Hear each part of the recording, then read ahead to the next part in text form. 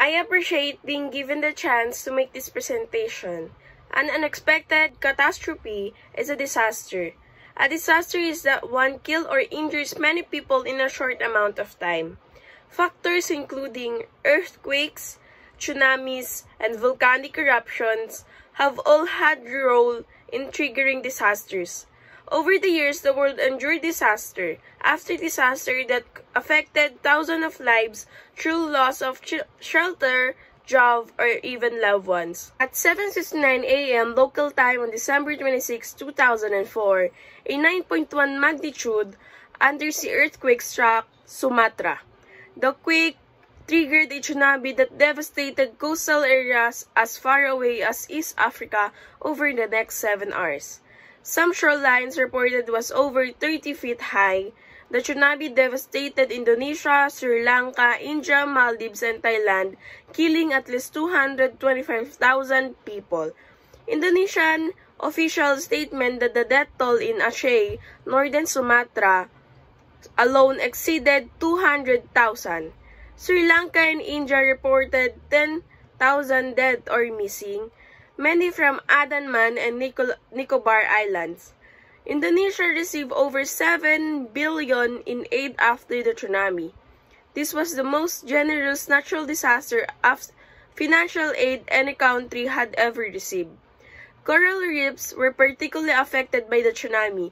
The tsunami silted and sanded 15 to 20% of coral reefs. The tsunami backwash carried debris from inland areas that damaged coral reefs. Tsunamis that destroyed homes, food, and clothing. Tsunami victims lost jobs and were injured. Many lost happiness in the tsunami. Tourism would suffer long-term due to tsunami fear. In the wake of an encounter, disaster preparation in Sumatra has improved, and statute authorizing telecommunication service provides providers to issue pre-mobile alerts in the case of natural and man-made disaster and calamities. Republic Act number 10821 should be put into effect to warn people of upcoming disaster and calamities and save lives. Sumatra has implemented frequent evacuation drills, planted trees along the coast, and constructed vertical evacuation facilities to the highest standards. The eruption of Tambora in Indonesia in 1815 killed the most people. It was a huge eruption that sent ash into stratosphere that spread around the world. The volcanic winter also caused crop failures, food shortages, flooding for most North America, Western Europe, and part of the Asia. The death toll of 1815 event was 11,000 from pyroclastic flows and more than 100,000 from the resulting food storages over the following decade. About two weeks after the eruption, a British officer sent the liver rice to the island of Sumbawa, made an inspection of the island. He reported seeing numerous corpses and widespread destruction. Local inhabitants were becoming ill and Benny had already died of hunger. Volcanic eruption can result in complete destruction of ecosystem ecosystem close to the volcano. Volcanic ash falls vary in their effects from total burial of ecosystem in negligible depending on their depth. They realized that open lines of communication and community-based information could greatly aid in warning those in danger and taking corrective measures quickly.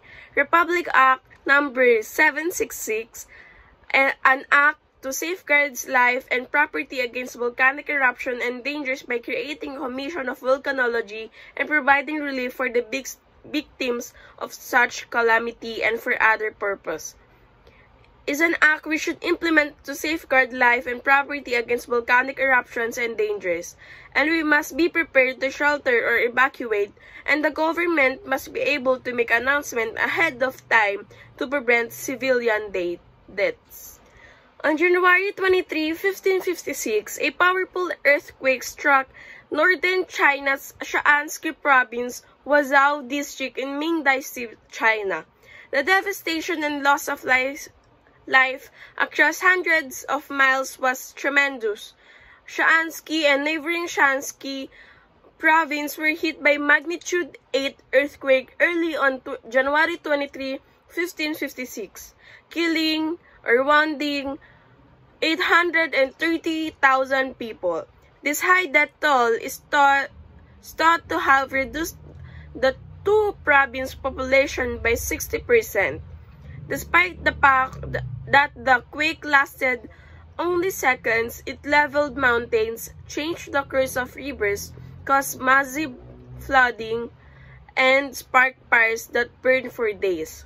The main conclusion is always have a plan in place in case of unexpected circumstances or catastrophic events. The National Disaster Risk Reduction and Management Plan must be institutionalized as mandate by Republic Act number of 10121, also known as an act strengthening the Philippine Disaster Risk Reduction and Management System, providing the National Disaster Risk Reduction and Management Framework, and appropriating funds therefore and for the other purposes. Rebuilding safer and stronger structure is a government responsibility that can help mitigate, mitigate the effects of natural catastrophe.